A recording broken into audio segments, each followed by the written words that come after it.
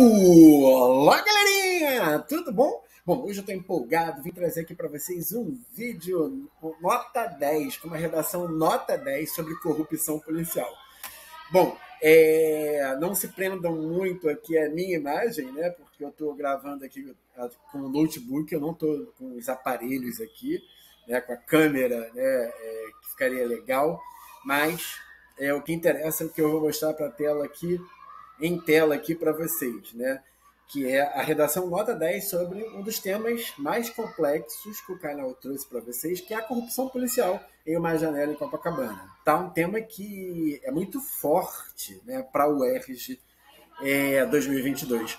Bom, gente, eu trouxe para vocês uma, um projeto de texto que a gente vai estar tá usando né, em todas as redações que a gente fizer aqui no canal. Tá? Então, esse projeto de texto é um modelo que está aí, já disponibilizado na aba comunidade para vocês, né?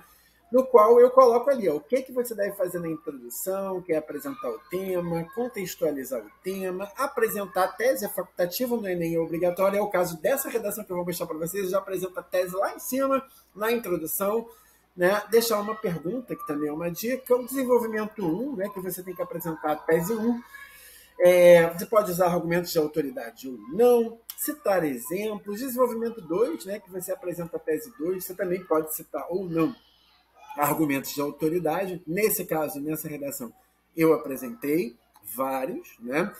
É, citar exemplos, enfim. E a conclusão da UERJ, que é a conclusão síntese, né? E a gente depois deixa um título, um título que tem que ser intrigante, que tem que fazer o leitor querer ler a sua redação. Vamos lá? Vamos tirar essa dúvida aqui? Bom, temos aqui a nossa redação. Eu deixei ela toda explicadinha, toda colorida para facilitar vocês na explicação que eu vou começar a dar a partir daqui. O título eu já coloquei assim: Uma janela para o Brasil. Então o que, que eu faço nesse título aqui? Eu brinco com a metáfora da janela, né? Já que a obra que norteia a nossa redação da UERJ 2022 é uma janela para Copacabana, uma janela em Copacabana, né? Eu uso esse para, uma janela para o Brasil, né? Então já já a gente vai entender do porquê que eu escolhi esse título, tá? Na introdução, como que eu fiz essa introdução aqui para vocês? Na introdução que eu fiz no último vídeo, eu não coloquei a tese, já que colocar a tese na introdução é facultativo na Universidade do Estado do Rio de Janeiro. No Enem é obrigatório. Aqui eu já coloco a minha tese. Por isso que vocês vão reparar que a minha introdução ela ficou um pouquinho maior, ela tem nove linhas, tá? Eu dei, eu fiz essa opção. A redação ela tá com 30 linhas certinha, tá? Então a minha introdução ela é mais densa e eu deixo a minha conclusão mais enxuta com cinco linhas, tá? Vamos ver como que eu comecei a construir isso aqui. Eu começo assim: a temática da corrupção policial assombra a sociedade brasileira. Isso fica explícito na quantidade de referências a ela, né, a corrupção, seja nos meios de comunicação, seja na cena cultural brasileira. Vírgula. Caso da obra Uma Janela em Copacabana, vírgula, de Garcia Rosa, vírgula, publicada em 2001. Então, o que, que eu estou fazendo aqui?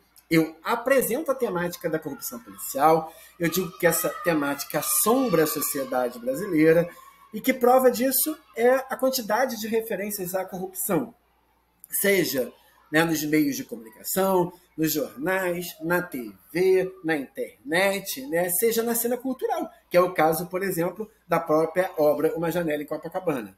E aqui eu, eu faço isso de propósito. Eu boto que a obra ela foi publicada em 2001.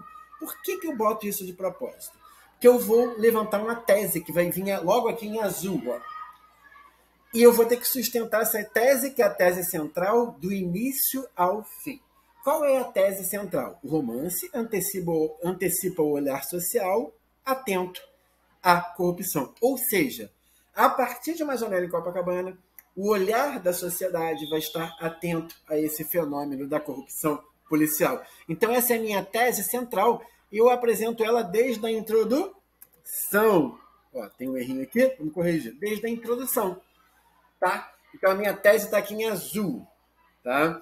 Bom, aí eu continuo. A gramática sobre o tema começa a ser forjada a partir do ano de 2005, quando a palavra milícia é cunhada pela jornalista Vera Araújo de O Globo, do jornal O Globo. Então, ó, depois da obra, quatro anos depois de Uma Janela em Copacabana ser publicado, é que o termo milícia vai surgir, tá? No jornal O Globo, para uma jornalista chamada Vera Araújo. A emblemática CPI das milícias, capitaneada por Marcelo Freixo, vírgula, ocorre sete anos após a publicação da obra, vírgula, em 2008. Ó, então, eu estou provando. Depois da obra também é que vai ocorrer a famosa CPI das milícias. E, para fechar aqui a minha, a minha comprovação da minha tese, né, eu coloco aqui. Né, é, o icônico Tropa de Elite 2, que trata das milícias, vírgula, aparecem em 2010. Então, olha só, já na introdução estou comprovando a minha tese de que Uma Janela em Copacabana é um romance que antecipa um olhar sobre uma questão importante, que é a questão da corrupção policial. Tá? Então eu já estou provando tudo aqui. Tá? Já estou provando desde a introdução. Isso é uma maneira de você fazer uma redação assertiva, que você impõe a banca te dar a nota 10. Gostou disso, gente? Então vamos lá. Como o romance policial antecipa tantas questões relevantes ao entendimento da sociedade brasileira. Coloco a famosinha pergunta aqui, tá? Então vamos lá. Desenvolvimento 1. No romance de Garcia Rosa, vírgula, a morte de três policiais, né? Garcia, Nestor e Ramos. É... E eu acho que eu errei aqui um, um dos nomes do, dos policiais, mas depois eu corrijo, tá? É, desencadeia uma tensa investigação por parte do delegado Espinosa e sua equipe.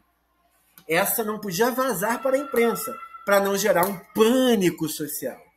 É Celeste, até então a possível próxima vítima do assassino, que desvendará, desvendará perdão, um esquema de corrupção envolvendo desde os três policiais até o alto escalão da sociedade brasileira.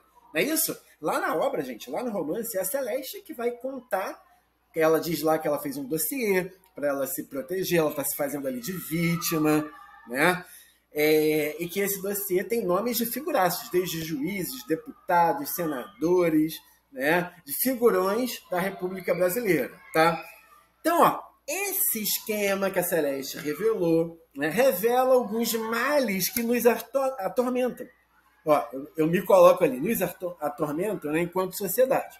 Os baixos salários dos policiais, a falta de treinamento dos mesmos, a existência de bandas podres no meio policial, a violência entre eles, policiais, e o envolvimento com diversos crimes. Então aqui eu faço um resumo de tudo que a obra apresenta. E é esse resumo é a minha tese 2. Né? É a minha tese 2, tá? Tá aqui em verde, tá? Coube ao romance policial abrir a janela para Copacabana e a sociedade do mundo real. Então, ó, coube ao romance policial, estou sustentando a minha tese que eu apresentei lá em cima, que o romance ele vai abrir a janela para Copacabana real e o mundo real, tá? Então esse é o meu primeiro parágrafo de desenvolvimento. Desenvolvimento 2. Hoje, as universidades estudam o fenômeno da violência das urbes brasileiras, das cidades brasileiras. Olha só que interessante.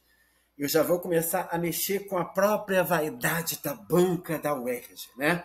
Eu vou citar a própria UERJ. O LAVE, Laboratório de Análise da Violência, da UERJ, ligado ao curso de Ciências Sociais, é um exemplo desse olhar direcionado a esse problema nosso, tá? É, aqui não tem crase, vamos corrigir aqui agora, até porque é esse problema é uma palavra masculina, né? Então vamos tirar essa crase daqui. Direcionado a esse problema nosso. Inúmeras obras. Aí, então, o que eu fiz aqui, gente? Eu estou usando o argumento de autoridades, né? que é o próprio Lavo e a própria UERJ, que vai estar estudando essas questões da violência. Tá? Hoje.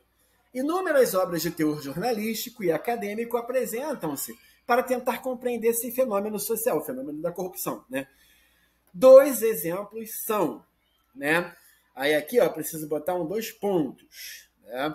Dois pontos. Dos Barões ao Extermínio, uma história da violência na Baixada Fluminense. Eu já apresentei esse livro aqui para vocês no canal, né? E A República das Milícias, dos esquadrões é, de morte, da morte à era Bolsonaro, né? Então, apresentei. Beleza? Ponto.